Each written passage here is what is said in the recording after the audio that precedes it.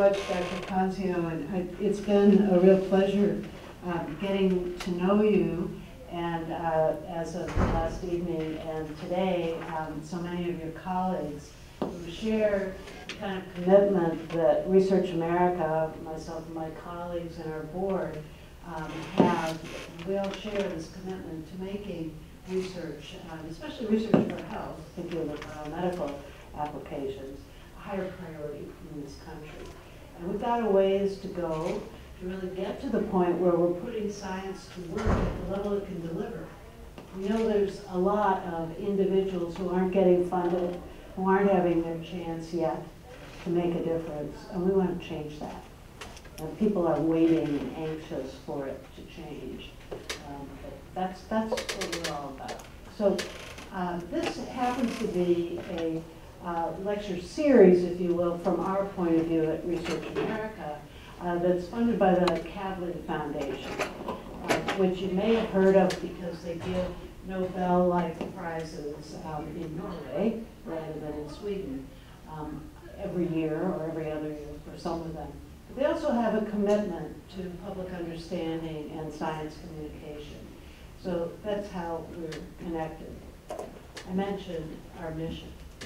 Uh, we are an alliance uh, that have now been at work on our mission for 29 years. I haven't been there the whole time, but I was part of the founding group as an advisor.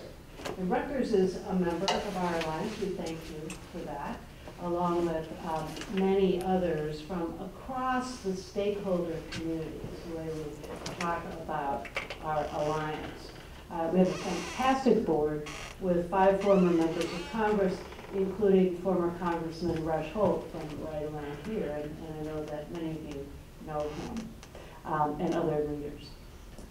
So I uh, tip my hat to all of you, to the science communication commitment that is uh, very alive and well here uh, across the many campuses, and I look forward to more opportunities to working with you. I think what you're doing is really something that all of our research-based universities around the country could well um, afford to do more of. And I use that term loosely, afford, um, find a way to afford doing more of. It will really make a difference for science.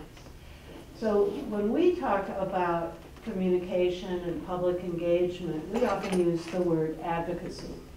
And we use it um, intentionally to make it clear that we're trying not just to inform in a, if you will, neutral way, but rather to make the case for it, to strongly and we hope effectively convey the value of science. And that means building relationships, sharing all the things you can read here. But what we think is a mistake, and has been for a long time, a mistake in the science community, is this idea that we can just outsource that function somehow. That it's other people that will make the case for us, that will speak for us. Whereas, in fact, we're probably the most authentic voices and the most persuasive ones at that. So advocacy does work. And this is a list of things that we've been involved in.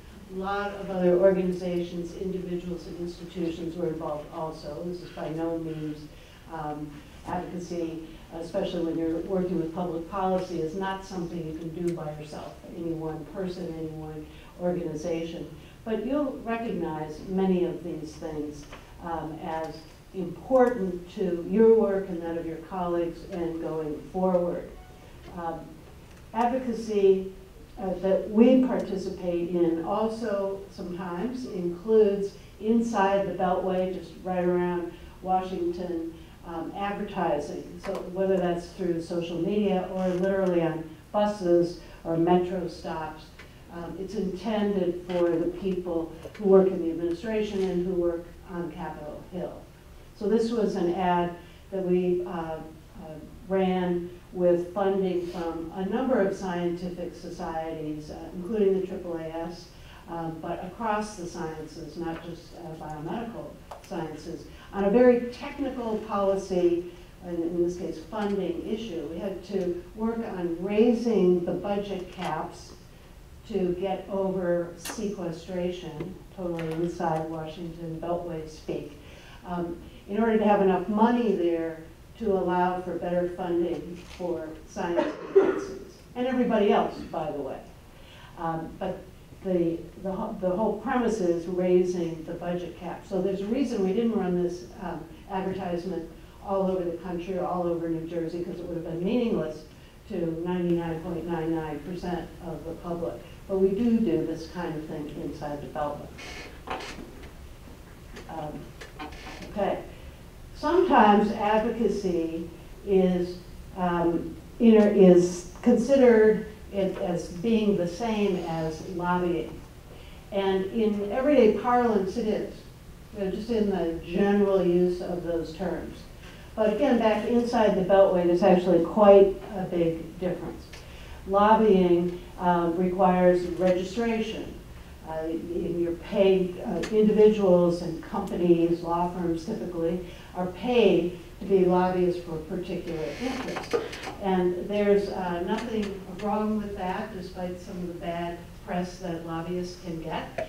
Um, We do some lobbying, but actually very little. Nonprofit organizations are allowed to do some, but not a lot. So as long as you keep it into, keep it at a minimum percentage, that's just fine.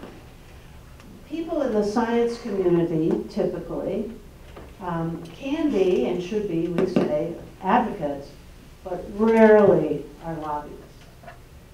And stepping into being a lobbyist without having it be part of your job description is a mistake. and get you at um, the wrong end of an angry phone call from someone in your administration. Uh, it boils down to this knowing that if you are an employee or student at a university, you're probably not being paid to be a lobbyist. And if you are, you know that. It's part of your job description, you know, you know you're a lobbyist. And that means that you can speak for the university. Other people, as part of their job descriptions, not just lobbyists, can speak for the universities. Of course, your whole administrative structure, et cetera. A member of the science faculty or post-grad student or someone else can't speak for the university, but you can and should speak for yourself and for science, and not be afraid to do that.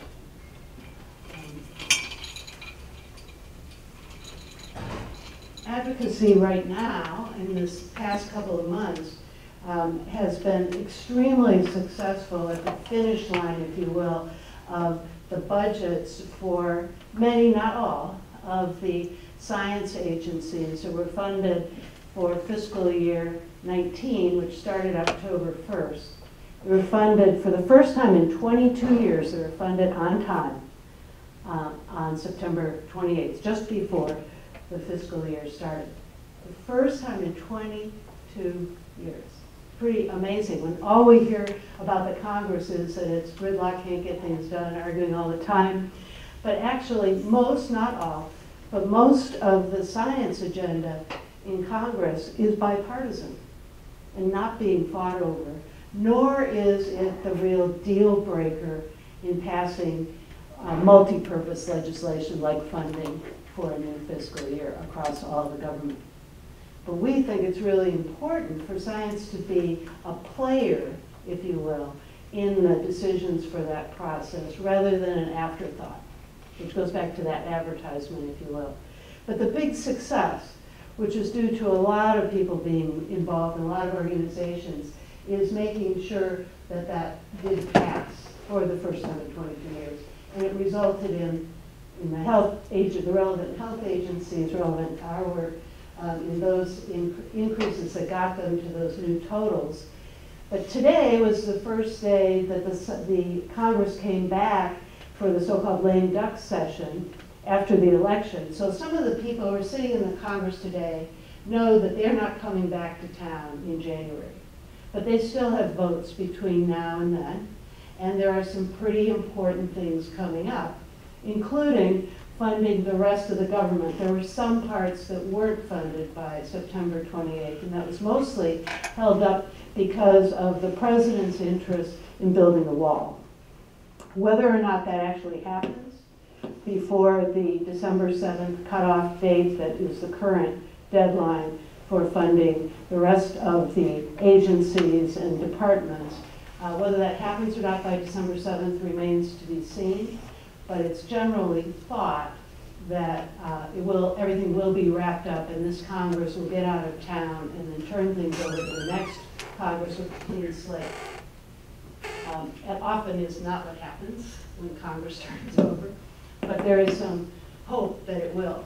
We think today, the second point on here, Dr. Kel- Kelvin Droegemeier, uh, we think he's going to be confirmed today on the Senate floor to head the office, the White House Office of Science and Technology Policy. That would be a very good thing. Dr. Droegemeier was the Vice President of Research at the University of Oklahoma. He's an atmospheric scientist, he's very well qualified for this position. Whether that happens or not, we won't know until it really happens, but it looks very positive. And that would raise the profile of that office, which has been um, understaffed and really has done almost nothing for two years. So we're looking forward to that. But it's been a lot of advocacy push behind it to get back to the advocacy agenda here is, is a piece of it for sure. I should just say while I'm talking about him, that it's not the same office as the president's science advisor. Often those two things do correspond, and they're uh, in one person. But it isn't, it's not written down any place, it's not a law or even necessarily history.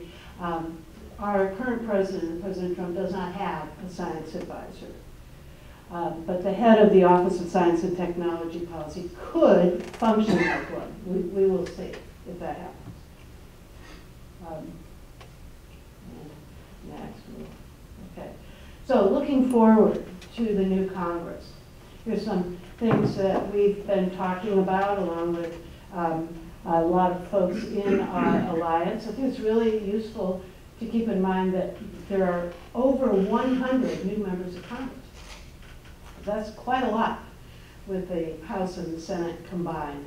And that means 100 opportunities to cultivate new champions, if we haven't done it already. It's always nice to cultivate people before they get elected, but that actually is uh, something that hasn't happened yet for the science community. We haven't organized in a way to effectively reach all the candidates running every couple of years. But that's certainly uh, a goal that we uh, participate in strategizing for and sometimes working on as time permits. Um, the downside is that we're losing a few champions. Not the, uh, I would say not the most critically important champions. We didn't have any uh, friendly leaders in the Congress abruptly lose races. But there were a few people that we've said goodbye to, including, uh, we will be saying goodbye maybe at the end of the Uh, um, Mr. Culberson of Texas, who is heading the Science Committee, and um, the uh, uh, Mr. Yoder of Kansas, who's a strong proponent of biomedical research. But in his case, Yoder's case, is replaced by somebody who's reputed to be equally enthusiastic about biomedical research.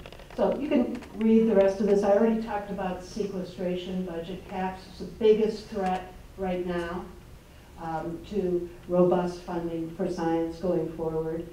Um, It's a self-inflicted wound that the Congress inflicted on itself in 2011. Nobody thought would actually go through, that they would make agreements and avoid these artificial draconian cuts, but they're back unless they get put aside by law. So that's very much on our mind and should be on yours. So here's some uh, graph of NIH funding over time.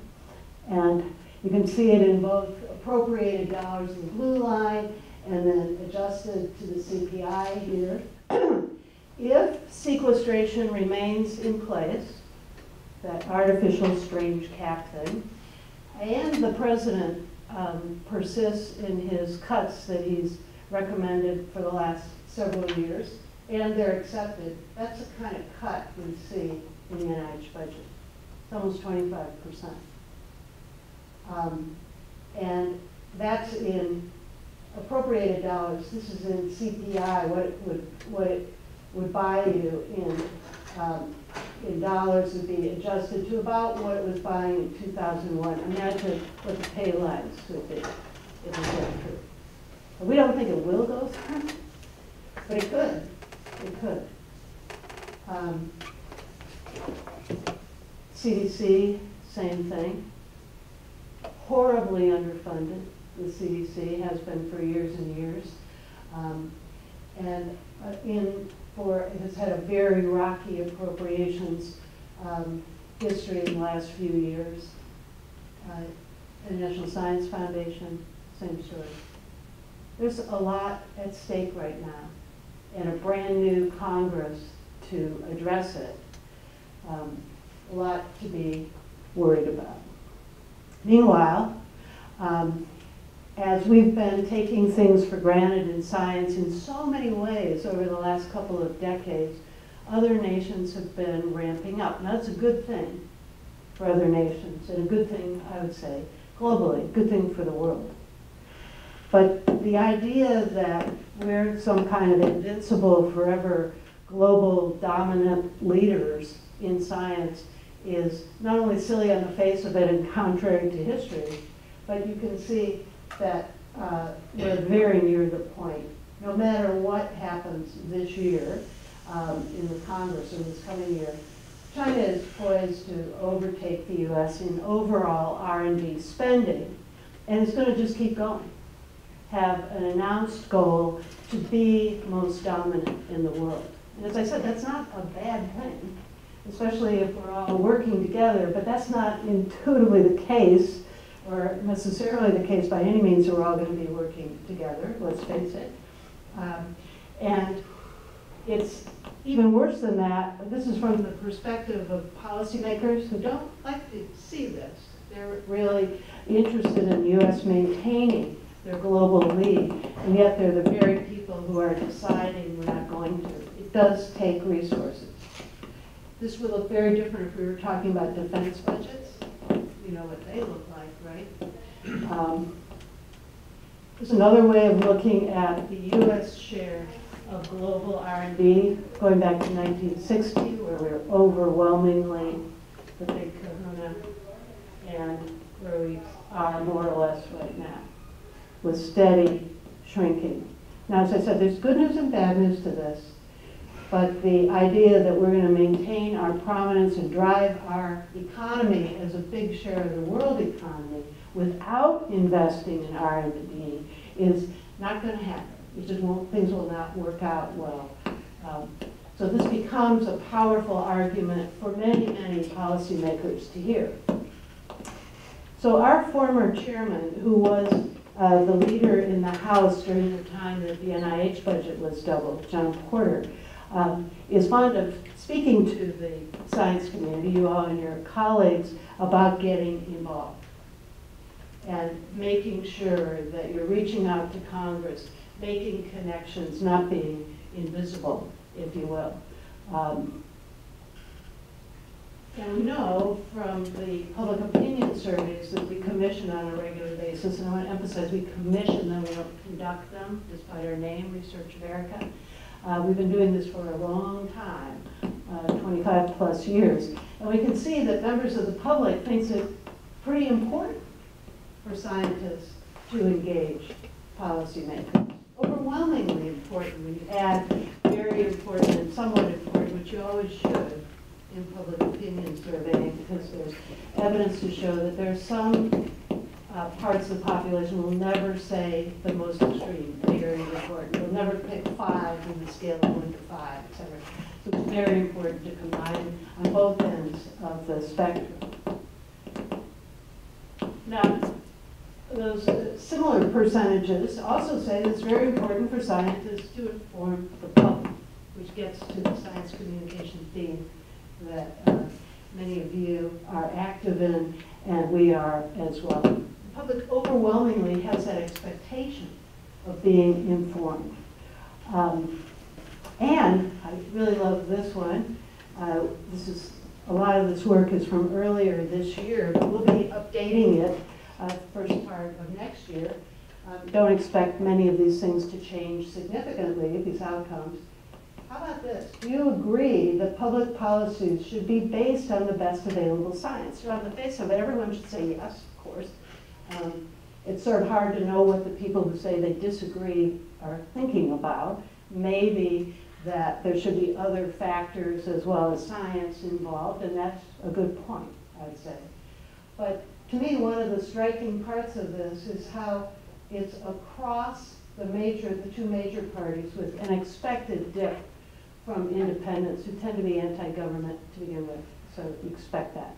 Um, But I would ask you to think about, are public policies based on science? You know, Not, not so much, can't count on that. And by the way, when we ask people which public policies should be based on science, it's absolutely everything you can think of, everything. Education, law enforcement, uh, banking, infrastructure, the list goes on and on. Um, So this, we don't usually see big increases over just a couple of years, as we did here, two and a half year stretch, um, with more people saying it's important that elected officials listen to scientists. That's another invitation, it's an expectation of the public that elected officials listen to scientists. Okay, so can scientists make a difference? Yes. And there's a lot of anecdote about this, and, and I know I was talking earlier to some of you, we're talking about how to, how to gather all these stories to show the science community as well as public officials the difference that being informed by scientists about science can make in your votes in Congress, in your decisions on public policy. So our chair right now, former Governor and Congressman Mike Castle, was instrumental as a moderate Republican in assuring that stem cell research went forward back during the George W. Bush administration. And he's still very active on this topic and others. And often will suggest taking a scientist to help persuade a member of Congress um, or other official. So I mentioned earlier that um, most science, not all science issues, but most science issues actually have very strong bipartisan support. And you can see this when you visit the campus of the NIH. These are the buildings that are named for former members of Congress. And you can see the approximate split between Republican and Democrat. We're very fortunate at Research America to have worked with the majority of these people. Um, at one time or another, many of them serving on our board. Now, if you know the NIH campus, or even if you don't, you can look at the map. There's a lot more buildings that currently have numbers, that could have names, and some empty space for some new buildings. So the kind of champion who really takes uh, an, a budget of an agency like NIH to new levels, who gets their name on a building, for example, exist in the Congress today. And they haven't for many years, but they have appeared in leadership roles right now, and these are their names. So um, Senator Blunt and Mr. Cole deserve to have, and I believe will have, buildings on the NIH campus named for them after they leave office, which I hope is not in my lifetime, because they're doing great things where they are right now in Congress. But that's the kind of champion we're looking for, and we have them, and just say it again, we have them right now in the Congress. And you'll note where they're from, I hope, and that they are Republicans. Uh, Mr. Cole, of course, um, will now not be in the majority in the new Congress. He will be the ranking member of this committee if he stays on it. He may not, he may move to another committee. But the good news is that the ranking member, Rosa DeLauro, uh, will, is also a champion, is also a person whose name could be on a building at NIH. Um, so we've got some great people in place right now that um, we hope will stay there for a very long time to come and continue to make NIH their number one priority. But speaking of members of Congress, I've got a little um, exercise for you. So imagine that you're in Starbucks or some coffee spot wherever, on a weekend, and you're in wherever you vote, whether it's around here because you live around here, or wherever you live, your member of Congress is also in that Starbucks getting some coffee, okay? So raise your hand if you recognize that person by sight. This is great. You've got maybe half, which is more than usual in, when I give this test. Okay, now raise your hand if your member of Congress recognizes you by sight. One, one. That's about average. Just for another month. Yeah, well, you're have to get to know somebody else. Um, one, having one person, whether it's a group about this size or three or four times this size or smaller, if there's one person, that's unusual. Most of the time, there's not. That is a problem. People in the science community who vote, for the most part, vote, for sure, who are using taxpayer funds locally, who have a lot of interest in public policy, of every reason for a member of Congress to know who you are, are invisible to your member of Congress. And that's what they tell us when we're on Capitol Hill. We're never approached when we're back in the district by people who live there and vote there, either who are scientists or who care about science and bring it up to us. Never happens. They're approached all the time by other people, bankers, small business owners, etc. The science community does not have this in our normal um, culture of how to engage with a member of Congress. We might, some of us, send a letter. Two of us out of hundreds and thousands might send a campaign contribution, another thing worth thinking about doing. Um, but approaching someone and knowing them enough that they know who you are needs work. Needs work. Can happen.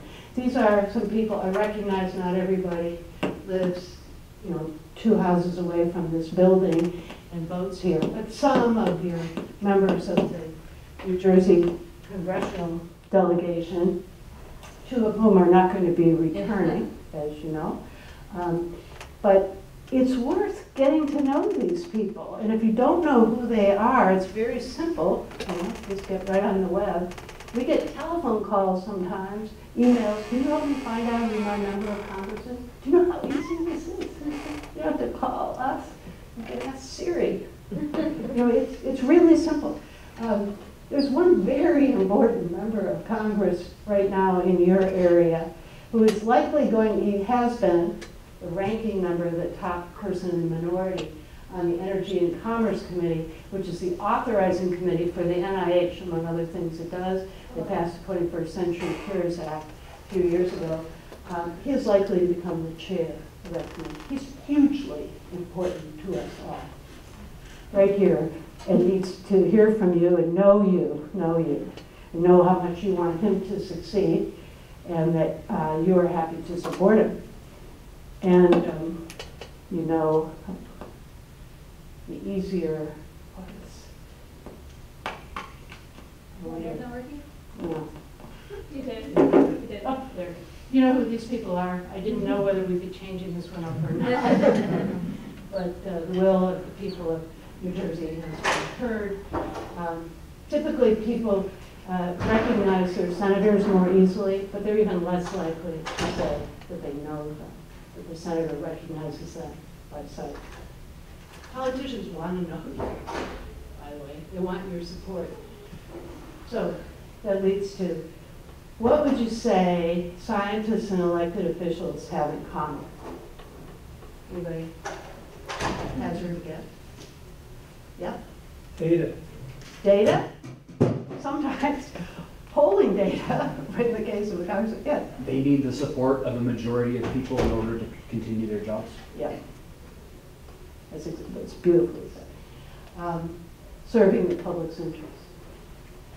And they're subject to the public's interest, which is really the point you were both making, I think, in a way. That's how you start a conversation, that you're in by surprise with this person you recognize as your member of Congress.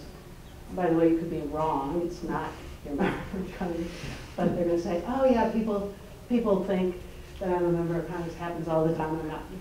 So what? It doesn't matter.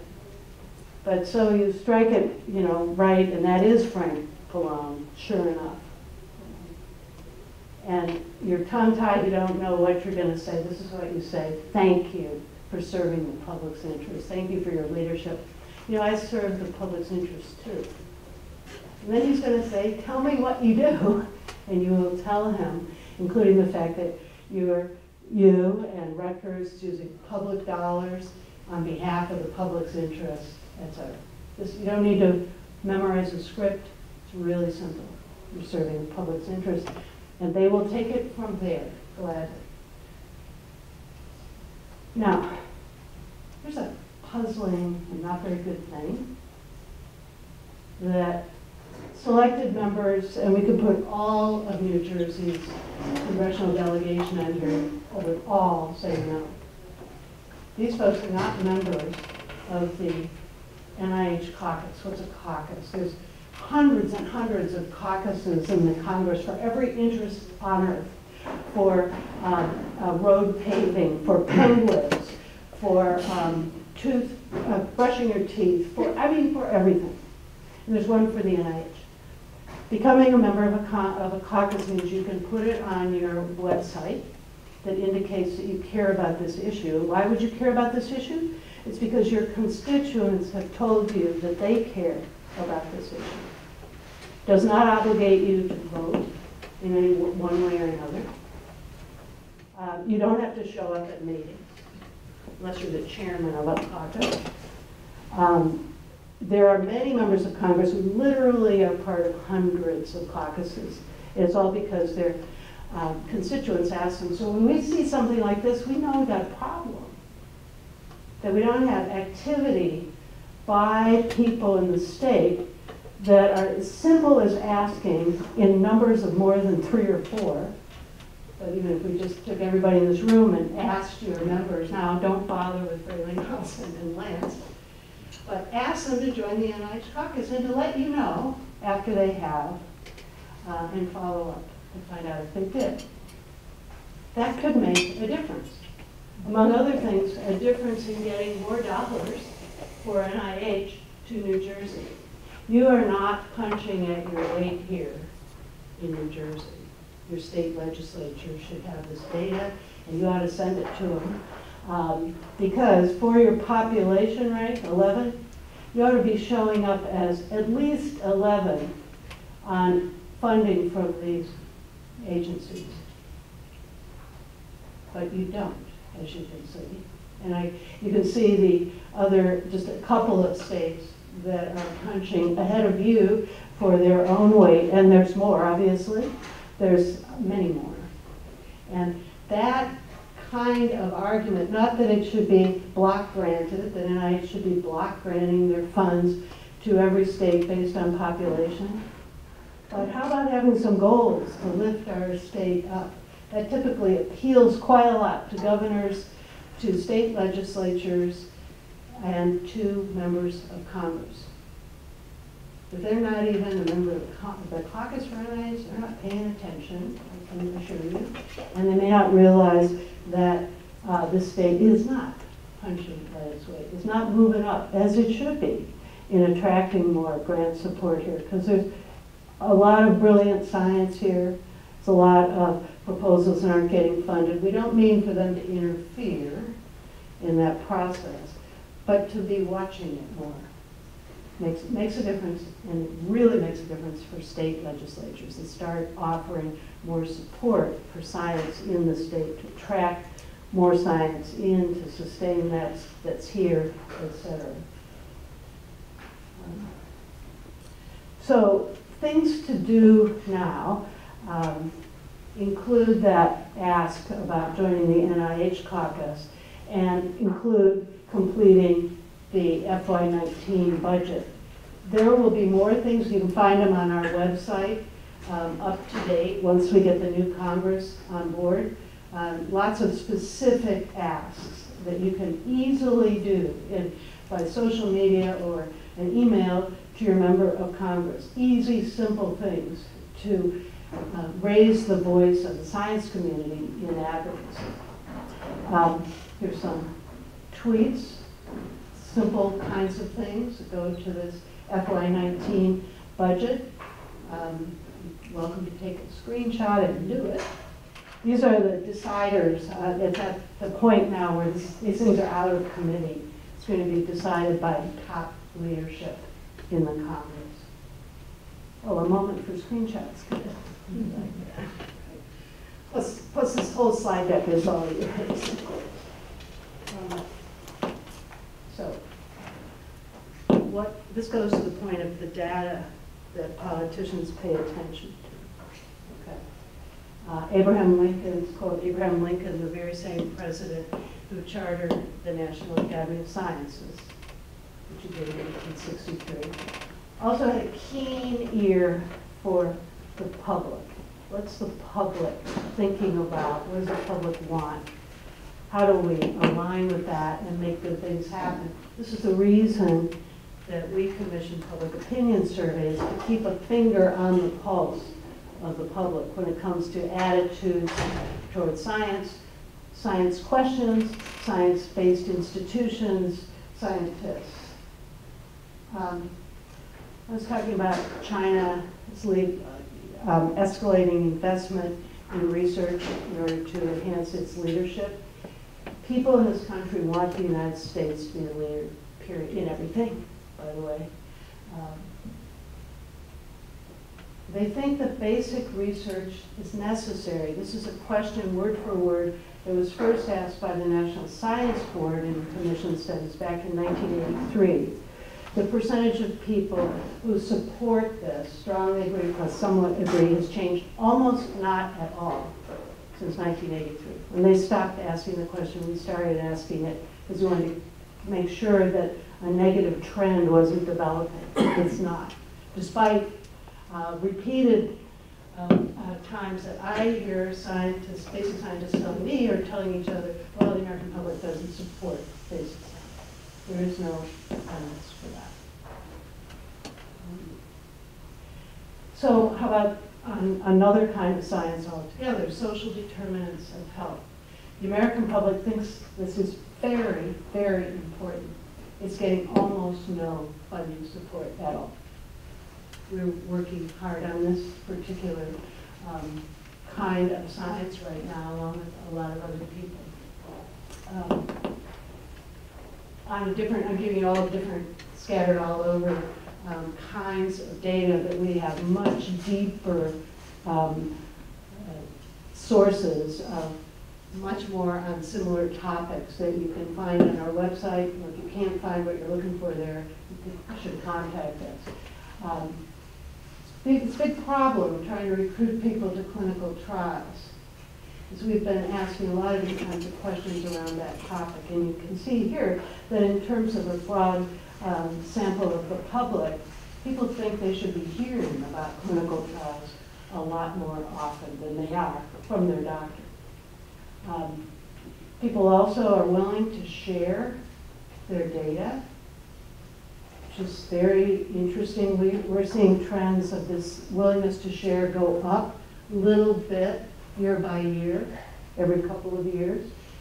Sharing it for a variety of reasons. This is a, a way people can be involved in science themselves. The sort of citizen science model, if you will. Um, lots of times we hear, oh yeah, people don't want to share information about themselves. Some people don't, that is true. Uh, but most people do. They're looking, they're waiting to be asked, they want to be involved. Um, This is not our survey data, but we have similar data, but we, I use it to illustrate that we, uh, in addition to commissioning surveys ourselves, we pay a lot of attention to what other people are doing in this area. So this is Pew data about trust, who you trust. Um, And you can see that the military, this has been true for decades, military right on top, medical scientists, scientists, um, can read the rest. Uh, and there are different arrays sometimes offered, but they always come out more or less the same. So the point is, scientists come out very well, very much toward the top. The difference, however, between scientists And in the the uh, military, for example, is, number one, scientists don't wear uniforms, at least not in public. Uh, So they're harder to spot. But it's also not part of the culture of science to be visible. Invisibility is actually a preference. So this, this is a question, the actual question is, can you give me the name of a living scientist? When we first asked this question, we said, can you give me the name of a scientist? And guess, guess what we got? Einstein. We still get that in small, tiny.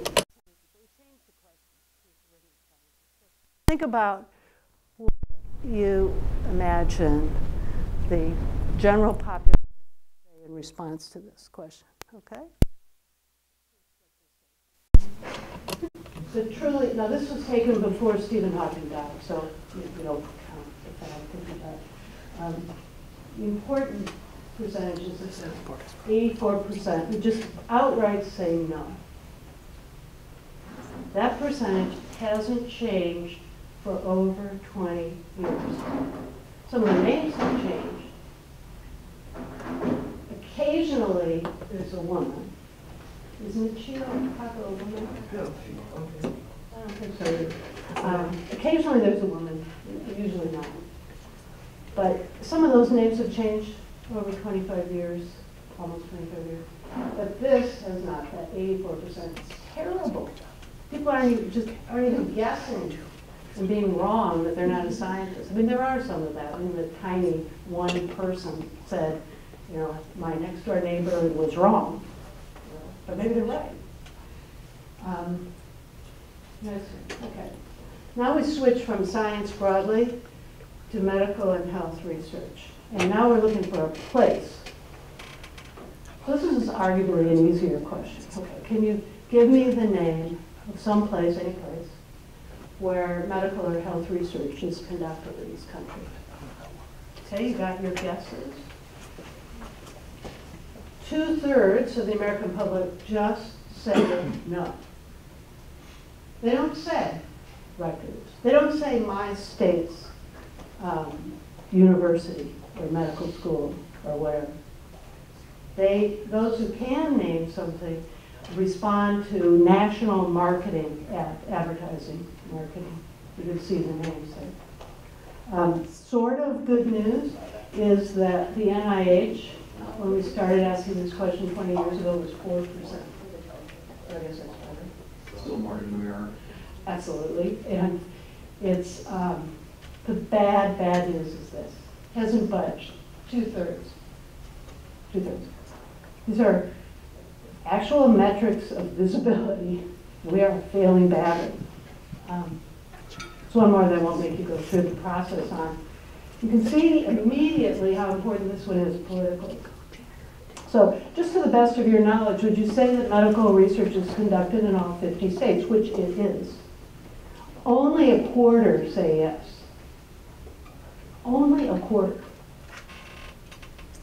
So why are we surprised that when we have trouble rounding up support for medical research, because we have to work at it every day, all the time, very hard, why are we surprised that people in the Congress say to us, nobody in my state really cares? I never hear about it as a voting issue.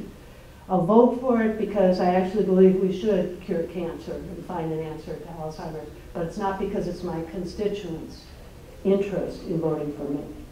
This is a problem. And if you're ever tempted to think that the IDEA of program or the EPSCoR programs that give special set-aside funding to states that aren't, quote, science-rich is a bad idea, you're wrong. This is the, the reason it's a good idea. Um, This is from a group called Science Counts that we've done a lot of work in, work with, and are uh, more and more presenting some of their data. Uh, But this is also a very disturbing question that um, half, 52% don't link U.S. leadership in science to their quality of life, and only one in four see government's role in science as important. That's very, very disturbing also. Kind of fits with the rest of the invisibility data. So what are we going to do? And I'm going to wrap up with just a few slides about how to change the conversation, um, other than finding out who your member of Congress is and getting in touch with them. Um, There's lots of things you can think about doing, and some of them I know you already are, actually. Um, Science cafe kinds of activities, are very, very important. Small business people who you work with, because they're vendors or they're associated with you and want you to succeed so that they succeed, may never have, you've, maybe you personally or somebody um, in your team, in your department or wherever, has never to them about the importance of who they elect in Congress, matter, making a difference to their ultimate success as your vendor, because you can succeed, science succeeds, the university succeeds. In other words, they've never connected the dots. They typically are very happy to know that and to uh, consider when they're voting other things. You can reinforce each other in advocacy. But there are people who've had bad experiences talking, trying to make friends for science. And I'll bet most, if not all, the people in this room are in that number, where you run into skepticism. Why should I believe you? Why should I believe science? You know, I don't know whether it's often about food or drink. Red wine is good for you or bad for you, or some surgical procedure or uh, therapeutic is good or bad. That's actually people thinking like scientists. They're being skeptical.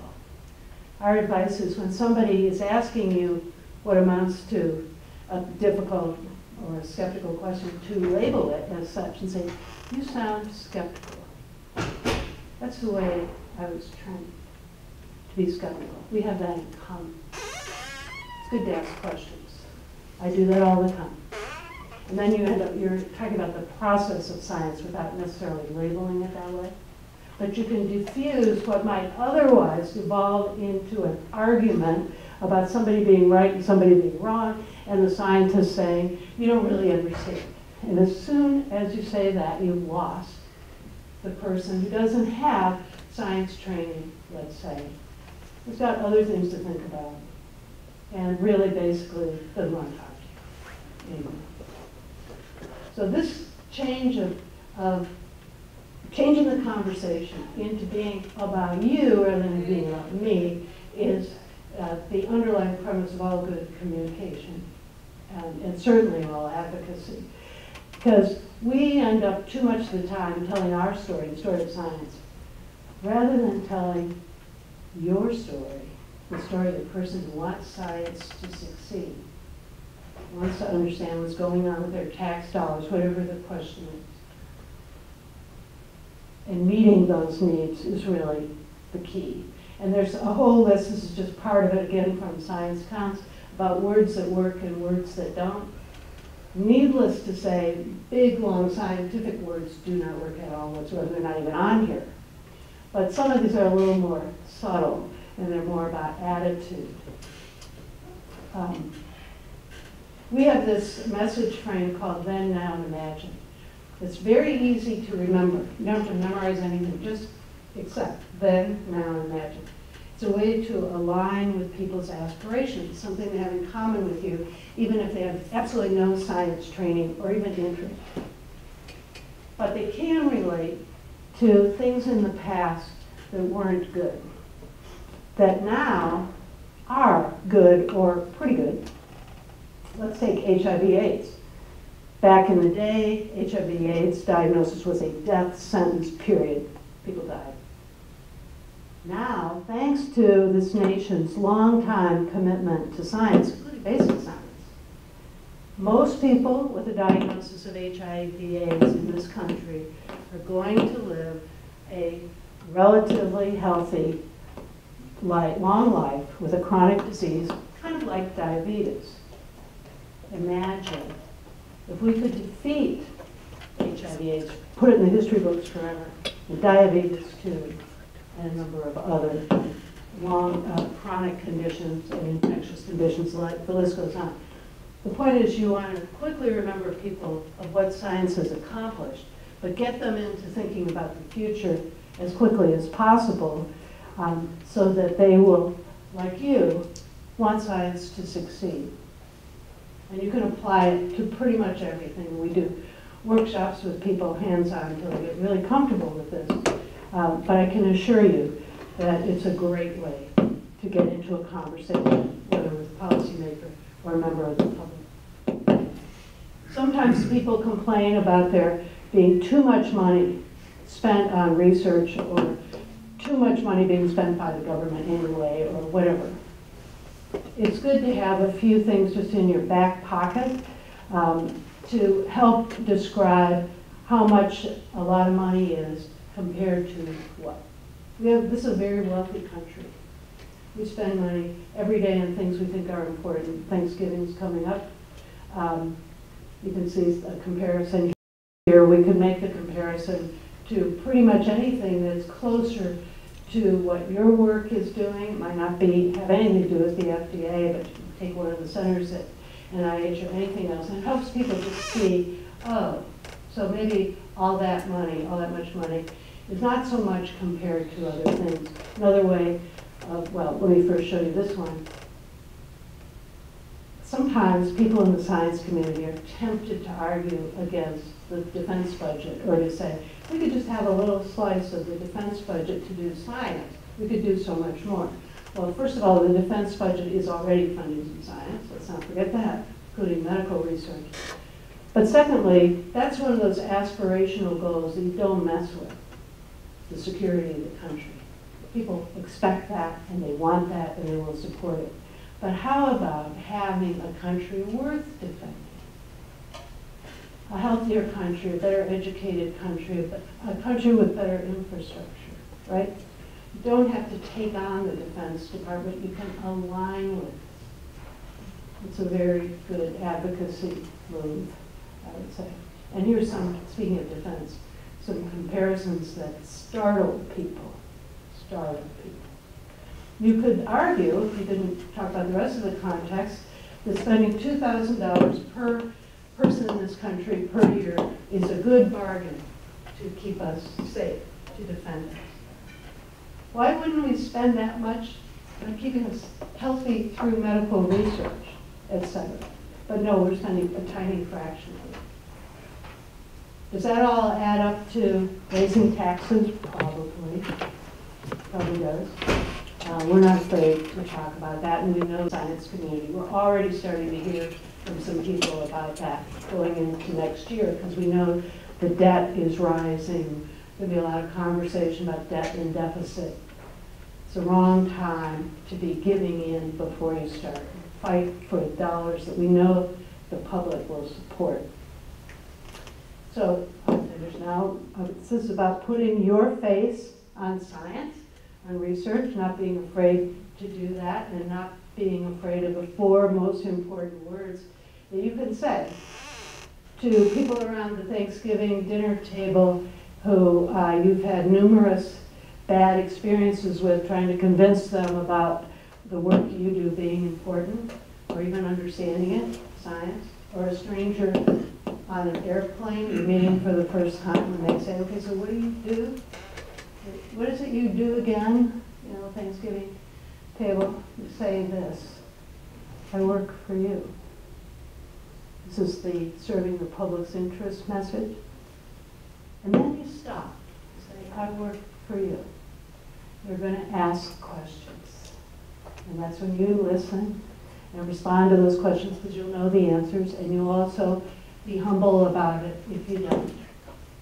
And you'll make a convert for you and for science.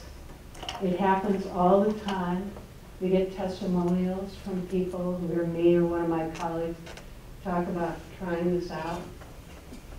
People, they say, their family, have arguments for years about spending money on science that they don't understand, they don't have any idea what this person is doing. Turn it around into I work for you and made a convert. People who have gone to their place of business and gotten up petitions to send to their member of Congress to support research at their local university because they had no idea research was happening there. until they talked to somebody on an airplane about it. This is important. This is a big message. It's also my final words, because I'm very lucky I work for you.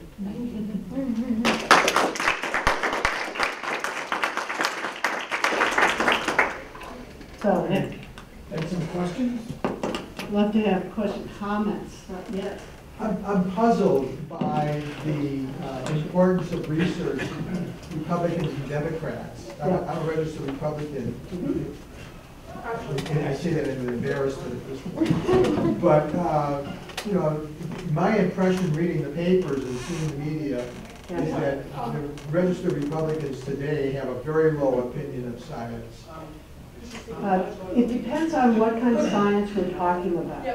The, um, I don't know, of course, what uh, survey data or other reports you might specifically be, re- uh, be referring to. There's a lot of anecdotal speculation going on about elitists. There's some, there's some data that shows that people have less confidence in higher education than they used to. That is true. That has nothing to do with science. That's, uh, or it may, but that's not what the question is. The question is about higher education. Um, And then there's speculation that the public has lost confidence in science, but there isn't any data. It- It's worth paying attention to anecdote and to, to media, whether it's, it's fake news or anything else, that's really permeating the environment, it's gonna cause damage. So I take your, your point two ways, as a signal of possible problem out there, but also just let you know that any data. Okay, Um, from my observations on social media and from discussing with other scientists and, and confirming what I'm noticing, um, there seems to be this tackling of how do we work with this administration to champion these things, but the instant this, this administration puts up, like, we want to do this, you get these severe people who hate this administration to say, since they like, since the administration likes this, that's bad. Right. So, and I understand that this, this administration is temporary, and we need to remember that every single day. But how do we, as scientists, moving forward for hopefully the next two years, Mhm. move forward in positively advocating for science and for scientific funding, so that if the Trump administration was to give us what we want, we're not having to deal with a general population who views that so negatively Yeah. and hurts our overall goals. Well, I, if I may say, you might be overthinking the problem there. I do that all the time. I am a scientist. Okay, better. Um, I, there's a lot packed into your question, uh, including about, you know, what will people think if we align with or uh, against the administration. The, um, I don't think people think about it that much to begin with. The science community might.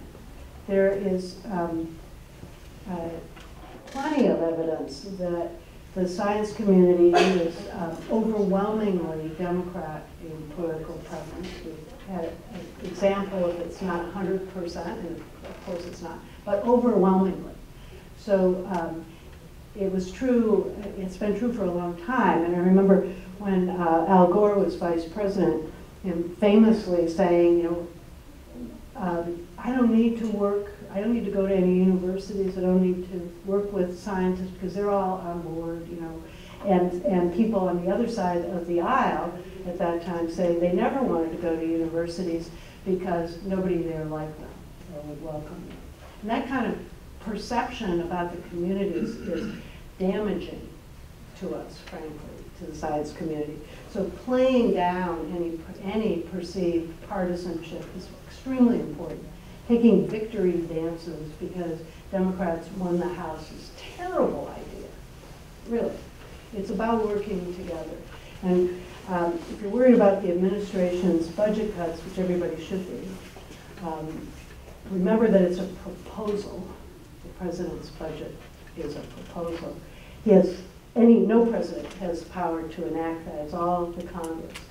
And it's dead on arrival, and it's been dead on arrival for presidents from the beginning, because it is the Congress that makes the difference.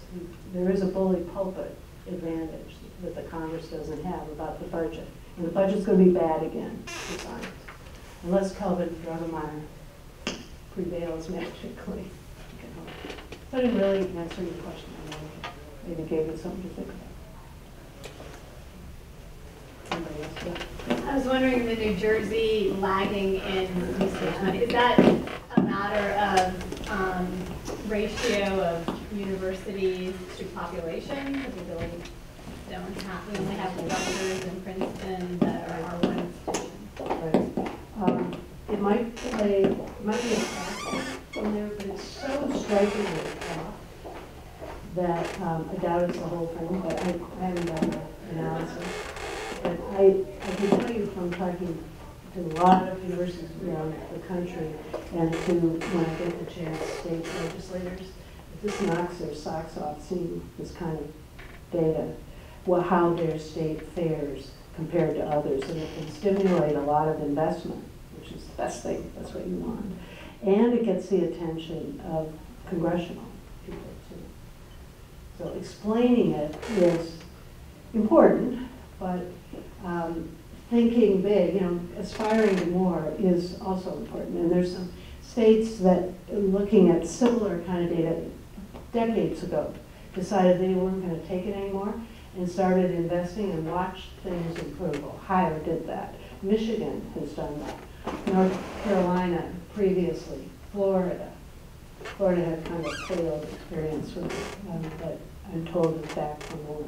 Um, so, you- anyway.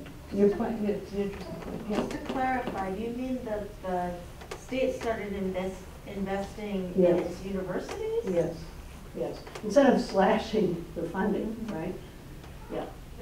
And in building, you know, building a new science campus, um, in, in, investing in their universities, yes. And, and part of that, there's this argument, you know, keep up with your population ranking. Another part of it is keep your homegrown talented kids here at home. And that's very popular with voters, state voters. So that's another argument, yeah. Any idea why Frank Pallone's not part of the NIH caucus? No, I'll bet you nobody's ever asked. But I assume many of you will, huh? And if he says, oh, that's a terrible mistake, I am, say, oh, great, glad to have that corrected. Maybe, you know, we're, you know, they don't like to be wrong, so. And they'll change it that day, good, good. Okay, maybe that's it, thanks so much. Thanks again. Thank you. Some uh, uh, outside in the hallway. Help yourself.